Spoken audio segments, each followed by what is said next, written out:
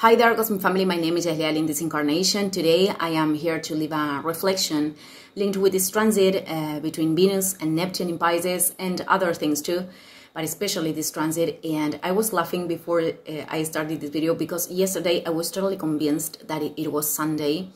Uh, so that's why I uploaded the, the video of the energies of the week and um, this these transits with Neptune have have great implications in my natal chart. I am dealing with them since the Pisces season uh, because I, I have this tendency to be in the in the stratosphere, and I, I have to double work to do to to stay grounded, and I don't consume anything. So uh, I wanted to leave this reflection uh, of this transit because it is very beautiful, and I think it is rebalancing the energy that we are having from the eclipse, you know, the Sun in Aries, Mercury in Aries, the North Node in Aries, and that is asking us to to take decisions, uh, focusing in what our individualities need at the present moment. Uh, although uh, Mercury is is uh, ready to to be a retrograde, but either way, uh, we will have to take decisions with with you know the the energy of the eclipse and this presence of Chiron in Aries that is inviting us to express our identities with all the colors and all the painful experiences that brought us brought us brought us here um, because they are part of who we are in this present moment. And with Chiron it, it is about facing the fear of being who we are. And obviously not everyone is going to like who we are but just simply being uh, we connect with uh, the people that we have to connect. And beyond this this thing about the, the resonance that is, I think is something very valid, you know, to feel resonance or not with uh, with things or people or situations. Uh, I think it is also important this practice of not no no judgment. Uh, uh, not only with people, also with situations, which is something very, very deep. Because when we start to detect you know, the times that, that our mind is um, doing these judgments, this happens all the time, all the time. So taking ourselves to neutrality is a very challenging practice, actually. so, well, with this accumulation of Arian energy in the sky, this, this could be channeled as excessive focus in our desires, and then the consideration with others could be like, uh, you know, uh, on the other side. This, this looking for the middle point, the agreement with others that responds to the energy of Libra. Well, um, is like we are maybe we, we could not put uh, too much focus there, and um, you know, being Libra, the South Node, the the agreement or, or looking for agreement cannot be born from um, renouncing to who we are uh, in order to be condescendent with others from a distortion. Uh, clearly, we've been talking a lot about this.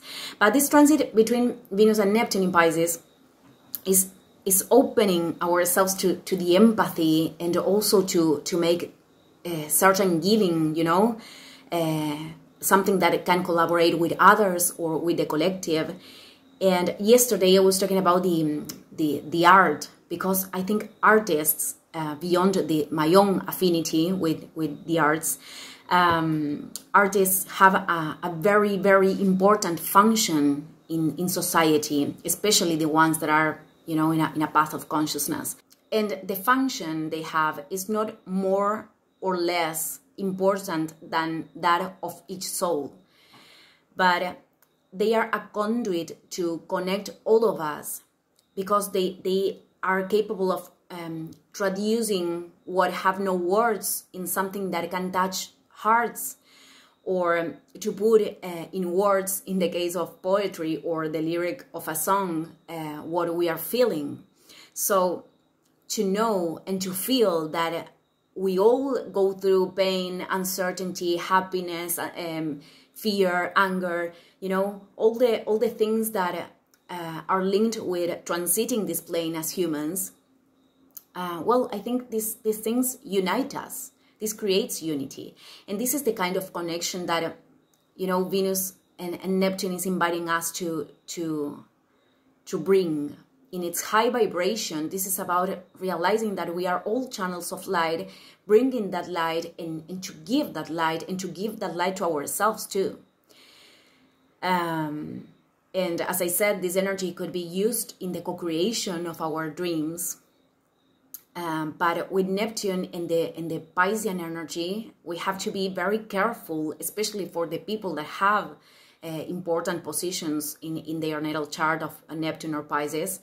Uh, it is very important to take care, um, to be careful, sorry, uh, that the the dreams uh, not transform, not turn, to not turn the dreams into uh, idealized fantasies of the reality. Because uh, the, the, the soulmate, you know, the dream flame could appear uh, and at the first conflict that manifests, then uh, this brings a, a, a, big disappointment because the, the experience is not adjusting to the illusion that in reality is coming from this uh, wounded inner child that um, didn't um, find out how to feel at home in, in, in himself or herself.